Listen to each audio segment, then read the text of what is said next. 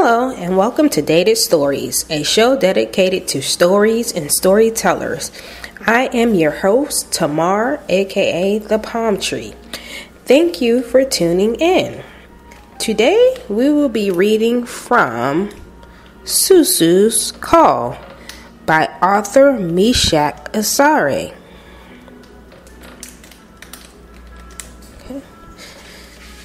Somewhere on a narrow strip of land between the sea and the lagoon, there is a small village. Some say it is used to be bigger, but with every crashing wave, the sea claims a little more of the land. The lagoon stretches as far as the eye can see, and it swells up whenever it pleases. Yet the people will not leave their village.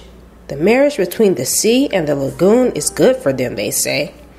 The sea provides good fishing, while the lagoon supplies other delicacies. The soil, too, produces excellent vegetables for the market. Susu lives in the village with his parents, his sister Fafa, his younger brother Boo Boo, Fusa the dog, and scores of chickens. Their house, like most other houses in the village, is the only a stone's throw from the sea. Most of the things Susu knows about the village are from the days when he was small enough to be carried around on his mother's back. That was a long time ago, when everyone wished for him to stand up on his legs and walk. But that did not happen. For many years, he only saw the world from behind his family's fence. In the mornings, Susu would sit by the gate watching as everyone left for the day. Ma and Dad were the first to go. Fafa and Boo Boo followed shortly, off to school, with Fusa the dog running after them. The dog always returned, panting, his eyes shining with the satisfaction of having been outside. It was this, more than anything else, which made Susu envious. What use is a boy without a pair of good strong legs, he thought.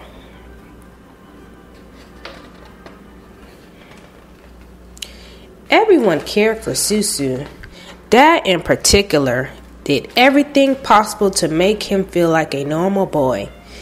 He taught Susu to repair broken fishing nets, taking him in his small canoe to paddle and fish in the lagoon. But one day, while fishing with Dad, two stern looking men drew up alongside Dad's canoe. One of them said harshly, We don't think it is wise to bring that boy of yours out here. It is bad luck to have the likes of him in our village. We doubt if the lagoon spirit is pleased to have him sitting here as well. You must keep him in your house. Then there was that awful night the moon was a shining pearl in the sky, and everything was awash with its light. As the drums in the village boomed and echoed, the message was clear to Susu Come out to play! Come out to play! Without thinking, Susu dragged himself out of the house. While he was moving towards the sounds of the drums, a girl appeared from nowhere. Startled by Susu, she screamed so loudly that people came running to the scene. Apparently, the young girl had thought Isusu was a spirit.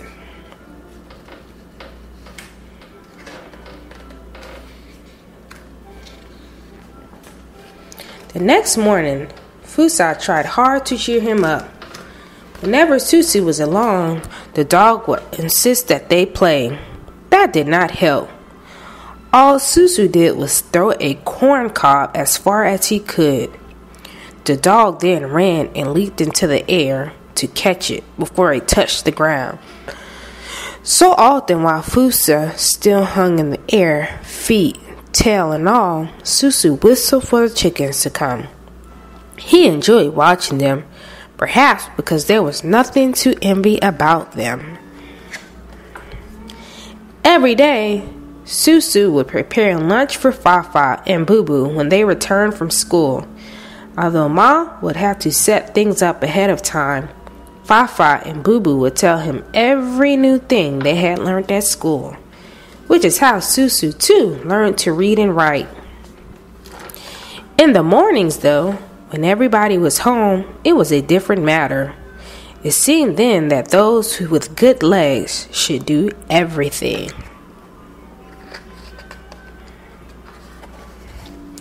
But one day, all of that changed. Well, nearly. It was a Monday, so everyone was away as usual. The men were out fishing. The women were hard at work on their gardens, and the children were at school in the neighboring village. Suddenly, Fusa became restless. He began to whimper and bark while a sudden darkness fell like a blanket across the sky. The chickens stopped scratching and jumped into their perch in the rafters and remained still, except for their quiet clucks and clackles. The usual lazy yawn of the sea turned into an angry howl. The coconut leaves flapped and rustled, swaying desperately in the wind. The surf boomed and thundered as it crashed heavily against the sands. As if that was not frightening enough, there was a loud bang, and with it, the old wooden gate shot across the yard like a massive kite and smashed into a wall. Luckily, nobody was hurt. Susu let out a deep sigh of relief, but his heart jumped again when a churning tide of water spilled halfway into the yard. The sea was already at the village. Something had to be done, and fast, but what could he do? The other people in the village were those too old or too young or too weak to do anything. They could all be trapped and drowned if the sea continued to rise. Susu tried to shout, but he could hardly hear his own voice. He stopped for a moment to think. There must be something useful that he could do. But what was it? Perhaps Fusa was aware of what Susu was thinking because he had stopped whimpering. Now he was relaxed, and there was a knowing and reassuring look in his eyes. That was the moment Susu got his idea. The drums, he said loudly. He would have to try to reach the drum shed behind the chief's, chief's house. But with the storm, it would be dangerous, even for a person with good legs.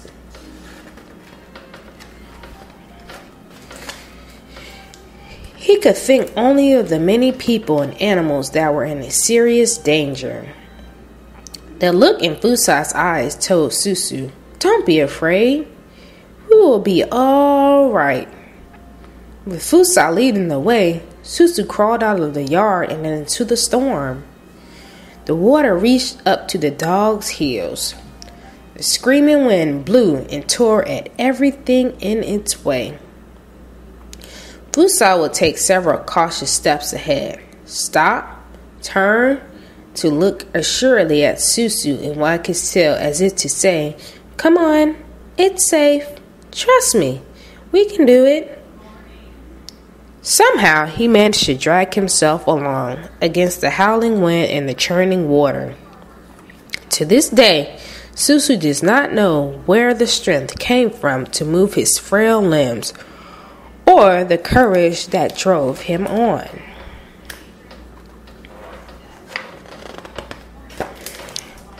They reached the drum shed dripping wet but safe.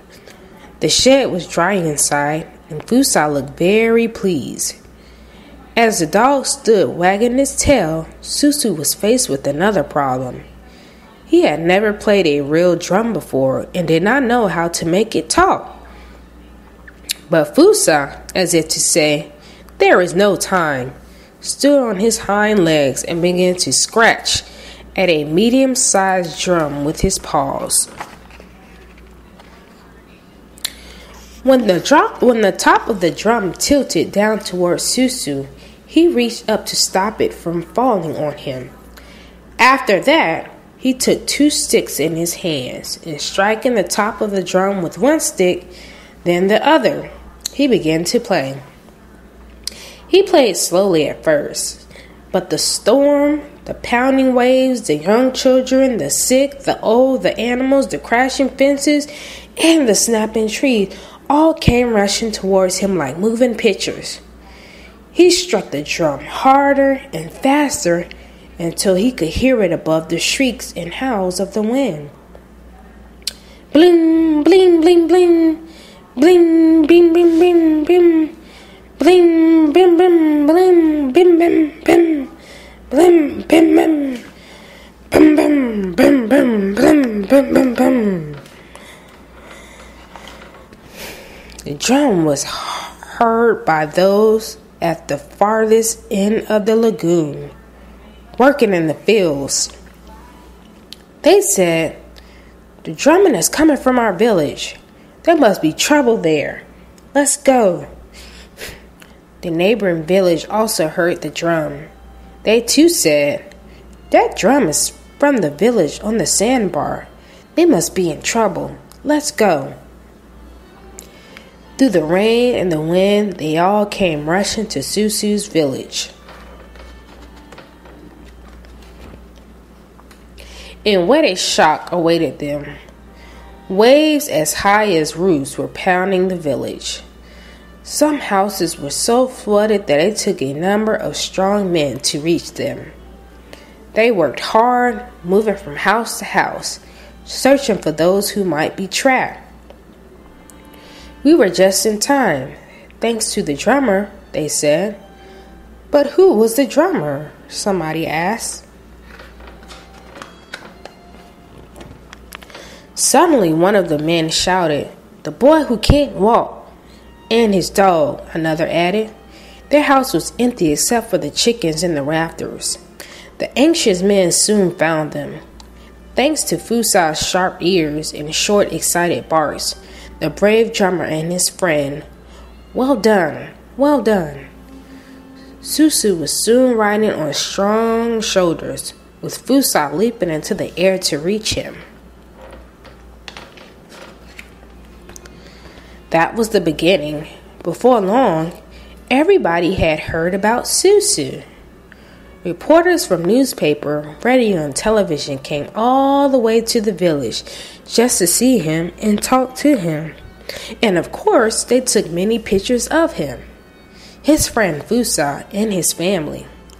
He remembers being asked many questions, including why he did something so risky. When asked what he would like the most, he remembers saying something about being able to walk and going to school. In the weeks that followed, the broken houses and fences were fixed.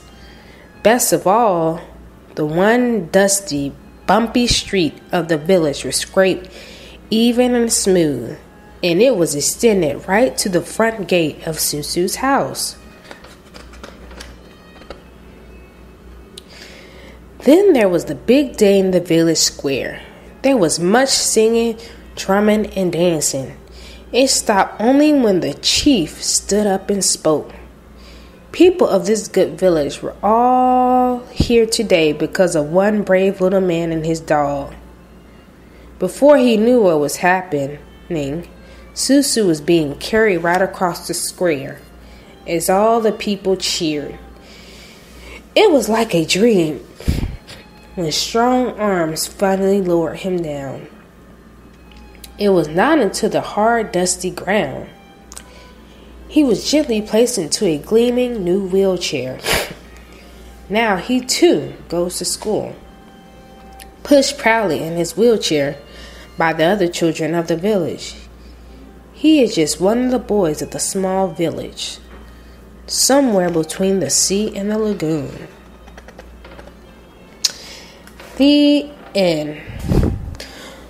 Well, this completes our show for today. Again, I am your host, The Palm Tree, and thanks for tuning in.